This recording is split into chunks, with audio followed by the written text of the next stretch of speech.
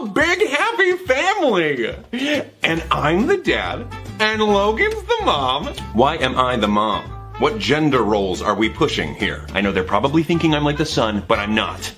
I'll be the gay emo cousin. I will be the son, the hotshot, whose only dream is to be a star. I feel like I'd be a fresh out of jail uncle. And I'm the sassy aunt who talks shit about everyone.